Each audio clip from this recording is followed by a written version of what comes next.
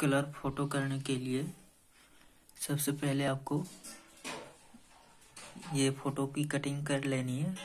उसके बाद control P करना है। उसके बाद ये सब मिला लेना है।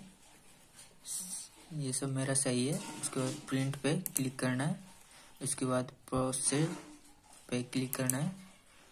उसके बाद प्रॉपर्टीज़ पे क्लिक करना है। यहाँ से आप देख रहे होंगे कि ये जो है बेटर पे क्लिक है और अगर ब्लैक एंड व्हाइट करना चाहते हैं तो ब्लैक एंड व्हाइट पे क्लिक करके अब black and white photo colour अगर कलर करना है तो कलर पर टिक करके आप ओके कर देंगे। ये आपका हो गया और अब मैं ओके करता हूँ। अब फ़ोटो को प्रिंट करके मैं दिखाता हूँ। अब मैं प्रिंटर की ओर ले चलता हूँ।